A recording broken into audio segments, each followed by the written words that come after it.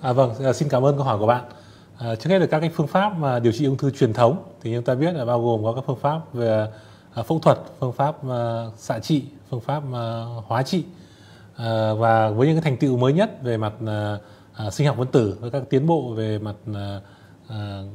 công nghệ dược phẩm thì gần đây thì chúng ta sẽ có những cái cái một cái phương pháp mà điều trị toàn thân mới trong điều trị ung thư. Đấy là phương pháp là điều trị đích và điều trị à, miễn dịch à, có thể coi như là một cái phương pháp thứ thứ tư thứ năm trong à, điều trị ung thư. À, đối với điều trị đích tức là một phương thức mà người ta dùng các cái thuốc mà nhắm vào các cái à, đích phân tử. À, khi mà có những cái biến đổi ở mặt à, cấu trúc phân tử thì nó sẽ tạo ra những cái protein à, bất thường và có thể kích thích à, ung thư tiến triển di căn. Và cái thuốc đích thì nó, nó nhắm vào các cái các cái protein bất thường này và nó sẽ chặn hoặc là uh, dẫn tới là nó làm dừng lại những cái tín hiệu mà có thể dẫn tới là uh, tiến triển uh, ung thư tuy nhiên là trong những cơ chế mà tiến triển ung thư thì nó có rất nhiều các cái đích khác nhau. Do vậy là uh, đòi hỏi là phải phải kết hợp thậm chí là nó sẽ có hình thành những cơ chế mà ờ, kháng thuốc tại vì nó rất là có nhiều cái cơ chế mà khác nhau dẫn tới là di căn ung thư. Và đối với các cái thuốc uh, còn về điều trị miễn dịch tức là điều trị mà về cơ chế là người ta sẽ dùng các cái thuốc để mà có thể là uh,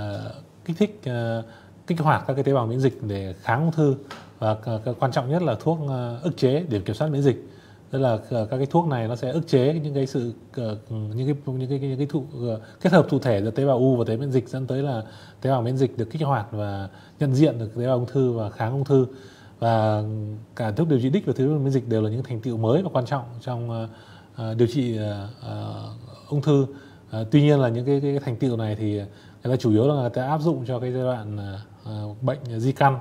và với mục đích là để mà à, kéo dài cái thời gian à, kiểm soát bệnh. Tuy nhiên là trong à, những năm gần đây thì cái hướng nghiên cứu người ta sẽ chuyển sang áp dụng ở những cái giai đoạn sớm hơn, nhưng mà phải kết hợp với những cái phương pháp mà truyền thống, đặc biệt là phẫu thuật để mà tăng cái cơ hội mà để điều trị triệt để cho cho cho người bệnh. Vâng.